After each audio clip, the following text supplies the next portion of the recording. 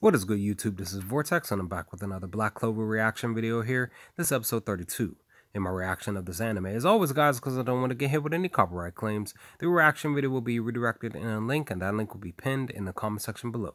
So be sure to click the link, watch my reaction, come back to this video, and let's have a chat about this episode. Alright guys, let's do it.